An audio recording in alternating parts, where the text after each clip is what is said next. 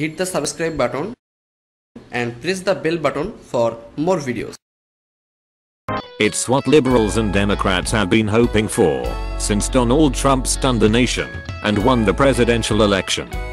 Now if he wants to stay in the White House, a top political operative says Trump has but one course of action. Many are convinced that special counsel Robert Mueller's indictments against two Trump campaign aides are just the beginning. He intends to go all the way and try to impeach the president. That according to Roger Stone, who had some urgent advice for Trump.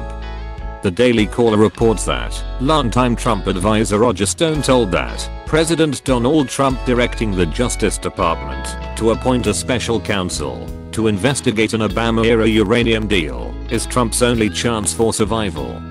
Otherwise, Stone believes Donald Trump's days could be numbered as president. Before the indictment was released, Stone, who was previously a business partner with Manafort told the Daily Caller that he thinks if the charges against Manafort and Gates do not relate to Russia, Mueller will look extremely foolish. Stone told that he see that it is really simple how Trump ends Mueller's investigation. The Trump confidant said that Mueller intends to levy funny charges against Trump in order to impeach him. Thank you, God bless you, and God bless America.